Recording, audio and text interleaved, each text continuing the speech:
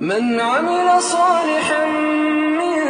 ذكر أو أنثى وهو مؤمن فلنحيينه حياة طيبة